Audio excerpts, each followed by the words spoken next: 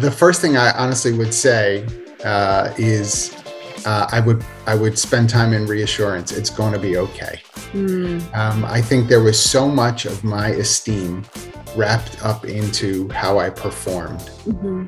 that I couldn't see the difference. Mm. And so when I started, everything I did mattered way too much. Yeah. Way too much.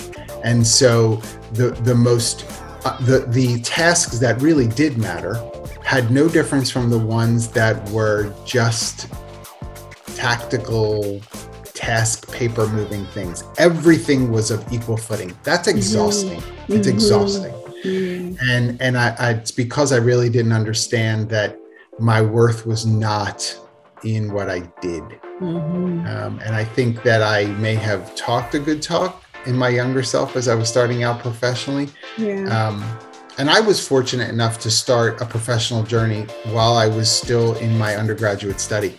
Oh. Uh, and so even even more so, I was not quite mature enough to understand yeah. all of who I am in that, right? But um, uh, what I would say also to myself is um, there's there's a world out there. I was very myopic in what I thought. Mm-hmm. Again, I'm I'm old school, right? 30 years, I can't help it. It's personnel is what I knew when I started, and it was a different sort of vibe than HR. Um, and I know we use all kinds of terms now, human yeah. capital and people operations yeah. and whatever, you know, mm-hmm. whatever soup du jour it is, right, that we're saying about ourselves. But I, I would say I just saw it in such a small world that yeah. I didn't know that there was so much more for me. And so there was a little bit in my career as I look back where I I definitely was playing catch up mm-hmm. because I I missed the boat on some things and I was afraid. I was afraid to fail.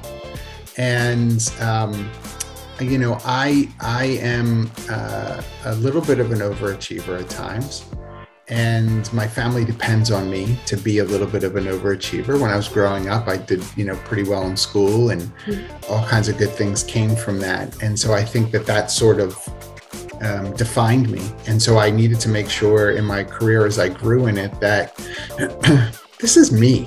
This is this is my journey. Yeah. You know, younger Baldino, it's okay. Take it easy enjoy it, put the work in, but do it to a certain extent and then take a minute. Um, I'd, I'd want to give myself a break.